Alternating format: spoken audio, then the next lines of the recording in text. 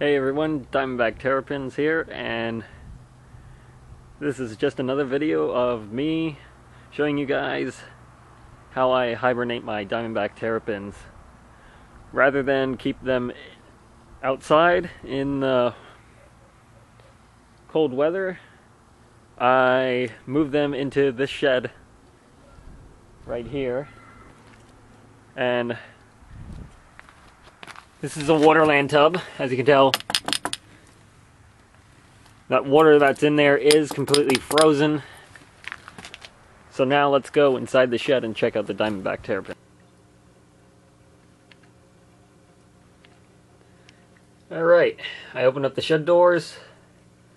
Turtles are in the 300 gallon stock tank, and you might not be able to tell.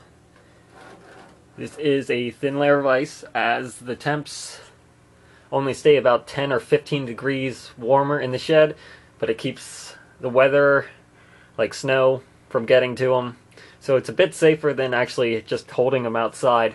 There is a pond de-icer right there that will actually melt this ice. I just turned it on. I usually don't have to have it on since usually the weather stays around 32 so it stays around like 40 or 45 in here and usually ice is not on the stock tank. But uh, it's been getting really cold these past couple nights.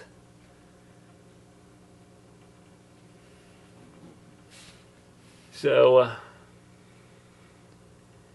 I don't know if you can see that, but uh, you may ask, how are the turtles alive? How do turtles survive under a layer of ice when they need to breathe?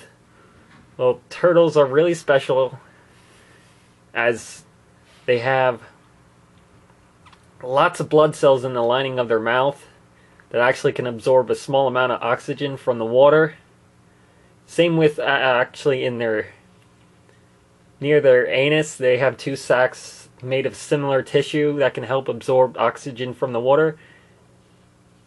And the turtle's heart only beats about once per 10 minutes, so they really don't need that much oxygen to make it. Now, why would you want to hibernate turtles? if unless you're breeding turtles or you have your turtles outside, you do not need to hibernate your turtles. It's only for breeding. As obviously there is a chance that the turtles can die during hibernation. You only want to hibernate turtles that are in extremely good health. I don't know if you can see, but this one turtle actually moved a tiny bit. Tiny bit of movement is alright to see. Just proof that the turtles are still alive.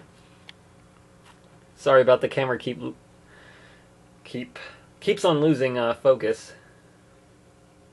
The low light is just causing this camera to go nuts.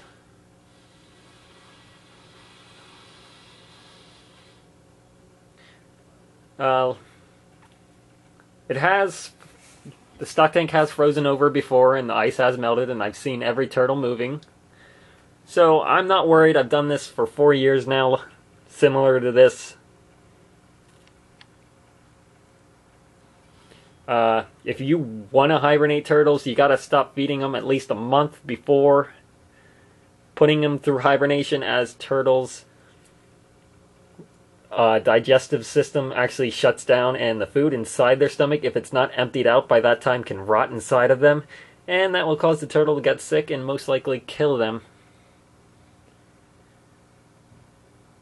My turtles were kept outside so they naturally stopped eating as temps slowly fell.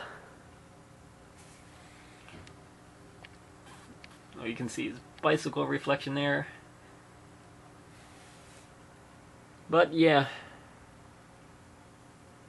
a lot of people do not try hibernation like this as they are afraid their turtles will die. I have not lost any turtles doing this so I'm not worried. Alright, that's about it. Any questions, feel free to comment.